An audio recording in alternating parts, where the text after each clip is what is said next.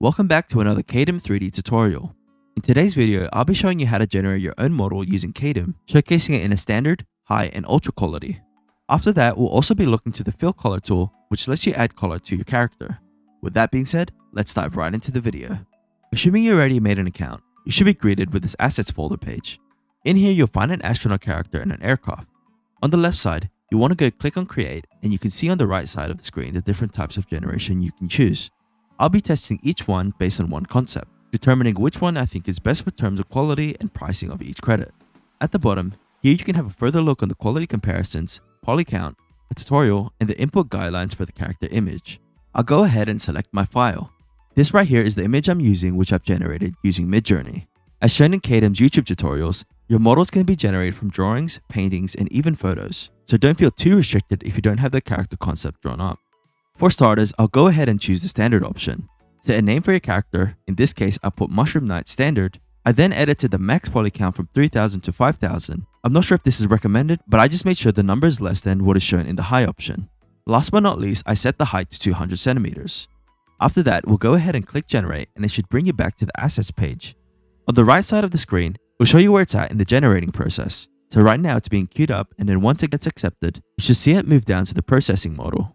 After that stage, a QA review and refinement, meaning the 3D specialist is just making its final touch-ups on your model. The whole process usually takes around 15 to 30 minutes for a standard model. When your model is done being made, you'll get a notification on your email, or if you're like me and linked up your Kaedim account to your Discord, you'll get a message from Kaedimbot saying your asset is finished. We can go ahead and go back to our assets page and you'll see your model. Open it in 3D Studio and you'll be able to have a closer look at it. Don't worry about the editing tools right now, we'll look into that later on and in future videos. I'm pretty happy with how the standard model looks, but now I want to see how it looks like with the high and ultra. I'll go ahead and generate those same images by repeating the process done for each generation. Now that I have all three types generated of the same image, let's go ahead and look at the differences. Keep in mind the high model took around 1 hour to generate and the ultra model took around 2 hours to generate.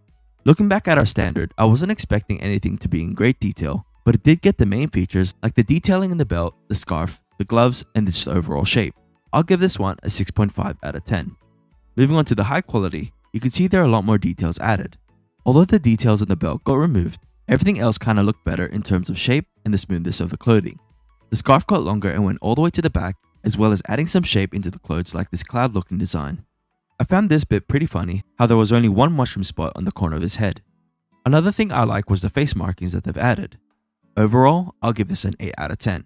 Now onto the Ultra. This right here is my favorite. There's a lot more details that have been added. First thing I noticed was more mushroom spots on the head. Looking from the bottom, you'll see the lines that usually find in mushrooms. In terms of clothing, the belt buckle has been added with extra pockets and the harness as well has some great detail into it. There's some minor improvements on the gloves, adding a bit more depth, which I like. Overall, I'll give this a 9.5 out of 10. You can look over the preview in the asset page to get a better look on the differences by quickly going through each generation. I'll go ahead and select the Ultra Character Generation and click Open in 3D Studio. We'll go ahead and add color into our character by using the Free Fill Color tool. Click on this and select Sample from Image. Your image that you use to generate should pop up. From here, all you do is get the color you select from the image and paint the spots you want in your character in that particular color. You can obviously choose your own color and play around with whatever you see fit, if you want to have the same color as your image, just color pick and select the image of the model you want to color. I do wish they add the feature where it's easier to select multiple parts of the model and color it at the same time, as well as being able to enlarge the image so it's easier to color pick certain details. Another great feature I'd like is an undo function, so if you want to go back a couple steps, that would be helpful. Other than that, I think the tool is very nice and a great alternative to auto texturing if you don't want to spend any more credits. But that bit is totally up to you. After a while, this is what it looks like. Click save and wait for it to apply the colors. It should link you back to the menu and you can play around with it in the mini window. That is all for this video. I hope you find this video insightful and useful when you use Kaedim. In the next video, we'll look into the auto texturing tool and iterate tool.